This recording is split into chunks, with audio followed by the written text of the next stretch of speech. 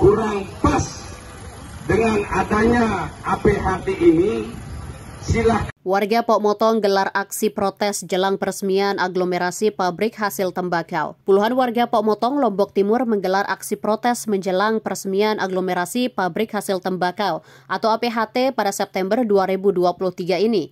Warga Pemotong beraksi di depan kantor desa Senin 11 September 2023. Mereka menilai pemerintah daerah Kabupaten Lombok Timur tidak peduli terhadap keputusan PTWN yang memenangkan masyarakat atas gugatan APHT yang sebelumnya merupakan kawasan industri hasil tembakau. Tidak ada kepedulian pemerintah daerah, pemerintah desa, dan tidak ada tanggapan tentang keputusan PTWN yang sudah dipajang di pintu gerbang KIHT, ucap Busairi yang menjadi perwakilan masyarakat pada aksi demonstrasi tersebut. Ia menilai langkah Pemda Lombok Timur mengubah nama KIHT menjadi APHT sebagai keputusan sepihak tanpa ada komunikasi dengan masyarakat Pok Motong terlebih dahulu. Ditegaskannya sikap Pemda yang mengubah nama dan status KIHT ke APHT lima hari setelah keputusan PTWN adalah bentuk acuh tak acuhnya Pemda terhadap masyarakat.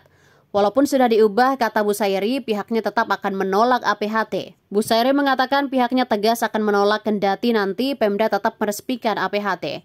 Masyarakat kata dia bersikukuh dengan pendirian awal yang menginginkan lahan itu dijadikan pasar, rest area hingga ruang terbuka hijau. Camat Mas Bage Agus Safandi mengatakan apa yang menjadi harapan masyarakat akan ditindaklanjuti. Namun untuk menolak seperti yang diinginkan masyarakat, pemerintah daerah tidak berwenang karena ini merupakan proyek pemerintah Provinsi Nusa Tenggara Barat. Agus Safandi menilai APHT menguntungkan masyarakat. Ini kan dibangun di pasar yang lama daripada tidak dimanfaatkan tanah ini sehingga dibangunlah industri tembakau, bukan pabrik. Nah ini yang belum dipahami oleh sebagian masyarakat, bukan seluruhnya, kata dia. Dia mengaku yang menolak hanya warga di beberapa RT, namun pihaknya akan tetap memfasilitasi.